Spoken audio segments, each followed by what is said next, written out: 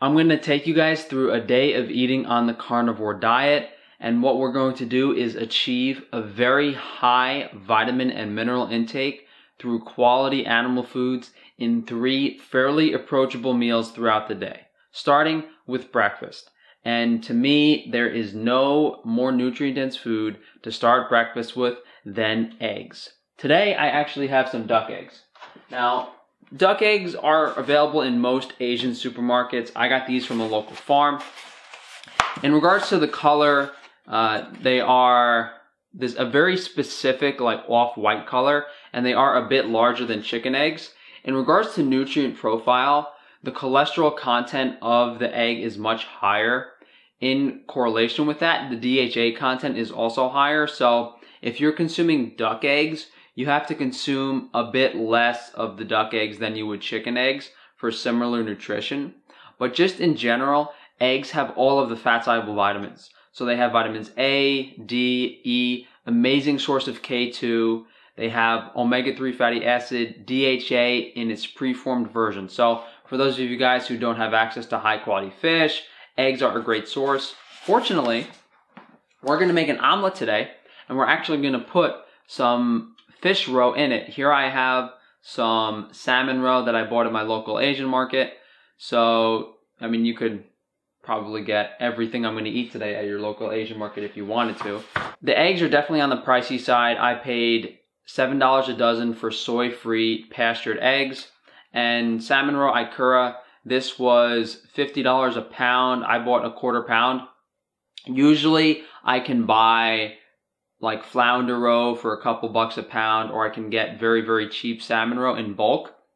But it's out of season right now and this is all I really had access to. So we're just going to make an omelet some people are concerned about the anti-nutrient in egg white avidin depleting biotin, but it's not really a concern because there's plenty of biotin in the egg yolk. One thing I will note though is I usually do put more egg yolks than egg whites. Usually I'll reserve a couple egg whites for another recipe and I'll put extra yolks in the omelet, especially if it's not duck eggs. Since duck eggs are much richer and have a richer flavor, what I can do is I can replicate that by adding more chicken egg yolks to a chicken egg omelet if I was making that instead. I'm gonna whisk this up. Okay. So, pan's been warming up on a medium heat. I think it's a little too hot, but we're gonna roll with it anyway. So here I have some raw clarified butter. I clarify it because I'm allergic to the casein protein. The pan is a little hot, so we're gonna take it off the heat. So I'm gonna pour my eggs in. This is very easy to do. The, the key thing here is the nonstick pan, and you don't want to keep the heat too hot. So we're just going to make some really soft scrambled eggs essentially. And then when they're about halfway cooked, we're just going to let it sit in the pan for a few minutes. For me, the only difficult thing with making an omelet is making sure the bottom doesn't get too brown. So the eggs are still a little wet. I'm to lower the heat. I'm to spoon a little butter into the omelet itself. Pour a little bit of the raw egg from the bowl into the omelet. Then really just like move the pan around on the heat to make sure that the heat distribution is even. While this finishes cooking, I'm just to put a little bit of salmon roe in here. And you know, a tablespoon or two a day is plenty. You're getting a ton of DHA by doing this. And I mean, this isn't really necessary, but I really do enjoy emphasizing on a very high nutrient density. And I know some of you guys might have seen like Shawn Baker's Instagram where he makes eggs and has wild caught salmon on the side. This is a much more nutrient dense version of that because of the quality of the eggs we're using and we're using salmon roe instead of actual salmon meat. The eggs are four to five times higher in vitamins and the salmon roe has a much higher DHA content. So we're getting a lot more bang for our buck in regards to calories versus nutrients. Um, that looks good.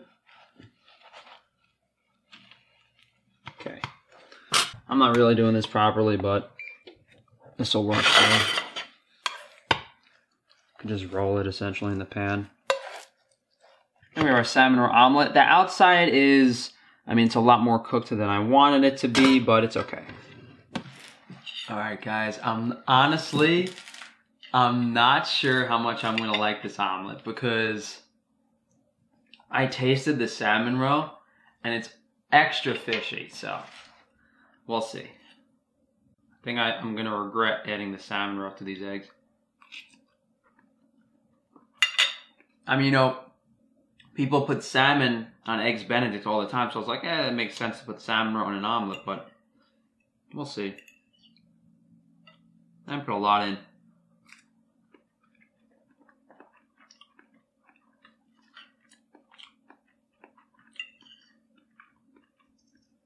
Salmon roe, the salmon roe is very salty. Should have rinsed it off.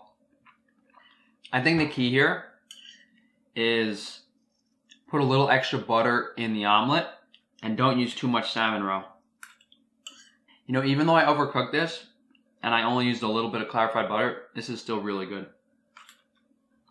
The amount of nutrition we're getting from this meal in regards to fat soluble vitamins, DHA, I mean, this is really all most people would need for a couple days to probably a week. You know, the duck eggs, granted they're high quality, have all the fat soluble vitamins, and the salmon roe is literally one of the healthiest foods you can consume.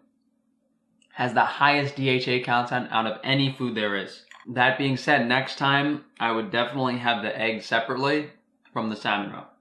So that's it for breakfast. The only thing additionally that I would warrant doing is, you know, this is when I would take a vitamin D3 supplement if it was necessary. You know, if I wasn't getting sun, if I wasn't going to the tanning salon.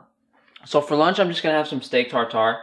I got some chuck roll that I've just been dicing up. It's a little bit fatty. I mean, it is a grass-fed animal, so the roll is not as fatty as that of a grain-fed animal. But all I'm gonna do is just add a few cracks of black pepper. A pinch of salt. And I'm just gonna mix this up in a bowl. And here I have two duck eggs.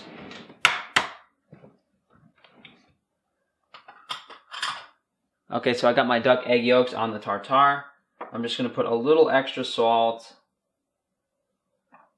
and some black pepper on top. And yeah, I know there's gonna be like half a dozen vegans commenting, oh, you have to season your meat to make it taste good. No, I don't. I could eat this completely raw and I will enjoy it. I like it a little better with salt and pepper. I know you guys might want to add half the pantry worth of seasoning to make your food remotely palatable, the difference is me putting salt and pepper on my steak is making it go from like 80% enjoyment to like 90% enjoyment. You putting seasoning on your vegan cardboard food is just trying to make it edible so you don't vomit. But I digress.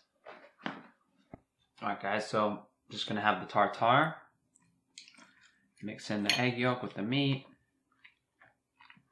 In regards to what we're achieving with this meal, uh, of course the egg yolks have some nutrient density, the meat has nutrients, but it really is for calories, yes. You know, there is a considerable fat soluble vitamin content in the eggs we're having, but you know, compared to what we had for breakfast and just in general, we've already achieved the high nutrient intake for the day. This is just reinforcing that.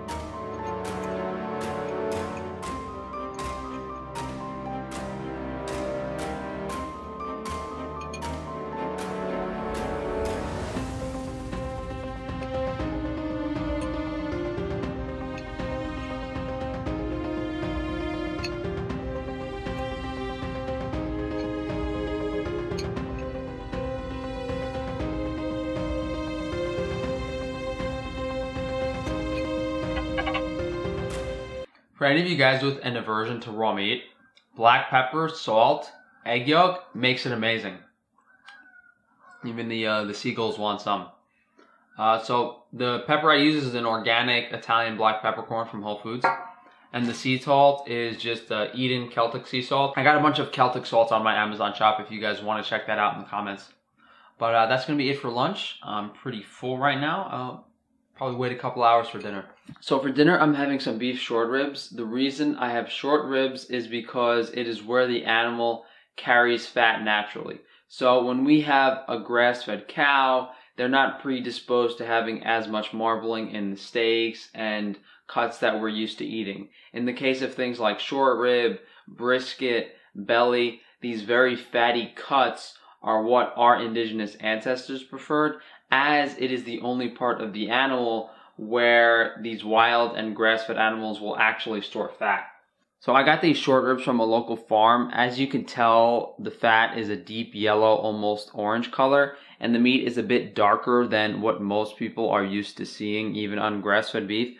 So we're gonna take these outside, throw them on the grill, just get a quick sear on the outside, just to build some flavor and kill any bacteria that might possibly be on the outside.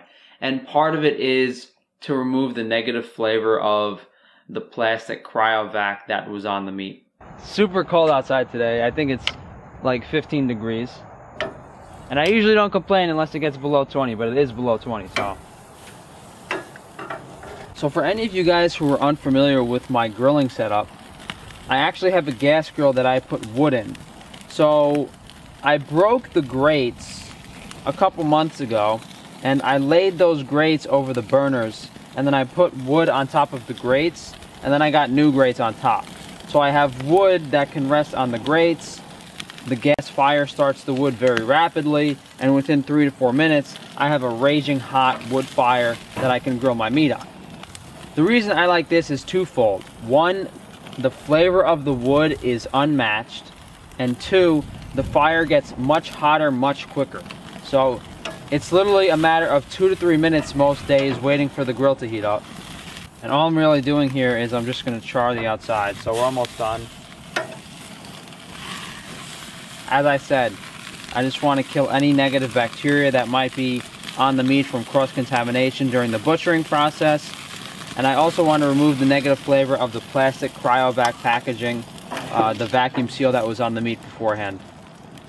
So I know some of you clowns might have noticed the pill case next to me earlier, and I forgot to move it out of the way, but this is my mother's.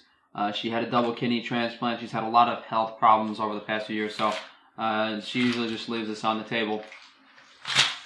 And I like to think you guys would believe that I am 100% transparent with everything I do, but, you know, people with not particularly high IQs tend to try to discredit people at every chance they get. That being said, here I have the grass-fed short rib.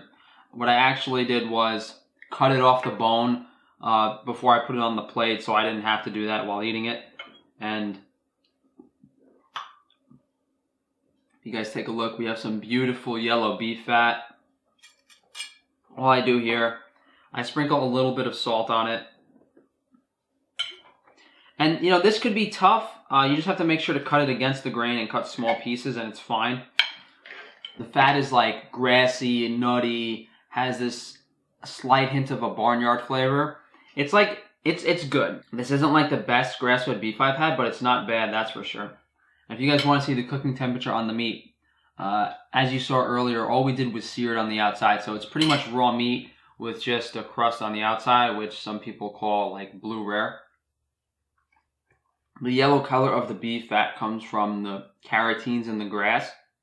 And if we can assume that the grass has these carotenes in it, it's also higher in the other vitamins. So not only is this grass-fed beef higher in vitamin A, it's higher in vitamin K, vitamin E, probably four to five times higher in various precursors to EPA and DHA as well, the linoleic and the linolenic acids. The reason I get into so many arguments about grain fed versus grass fed is because it's not really subjective. Yes, grain fed prime ribeye, dry age with proper cooking, insane amounts of marbling, salt, and pepper on it tastes good, if not better than most grass fed steaks because people aren't used to the texture or flavor of them. But if we're comparing other cuts of meat, and most importantly, if we're comparing grass fed versus grain fed fat side by side, the grain-fed fat is literally inedible compared to the grass-fed fat. The grass-fed fat is soft, it's nutty, it's sweet, it has a slight grassy flavor. The grain-fed fat in its raw state literally tastes like off acrid plastic corn. It's without a doubt a negative flavor. By cooking the meat, by covering up the negative flavors of the grain fed beef, that is why people prefer grain fed. They're buying crappy grass fed beef and they're not cooking it properly. And I know these people haven't had high quality grass fed beef because I've worked in some of the best steakhouses in New York City. I've tasted plenty of excellent steaks and I know that this grass fed meat has a unique and better flavor than any grain fed fat I've ever tasted. Like when I bite into this grass fed beef fat, I literally think to myself, what the F? This is so good, it's crazy. I have never thought that when biting into a grain fed ribeye steak.